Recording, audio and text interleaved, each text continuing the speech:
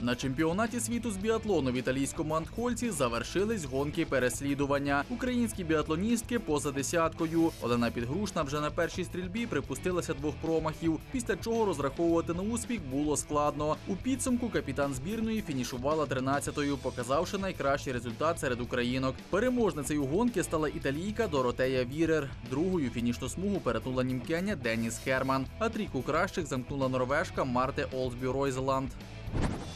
Не потішила у неділю і наша чоловіча команда. Найкращий результат серед українців видав Артем Прима. Він 24-й. Натомість в боротьбі за золото панувала неймовірна інтрига. До останнього вогневого рубежу у статусі лідера із 12-секундною перевагою підходив росіянин Олександр Логінов. Проте він припустився промаху і став лише третім. Перемож святкував француз Емільєн Жаклен, який завоював першу медаль чемпіонату світу. Другим став норвежець Йоханнес Бьо.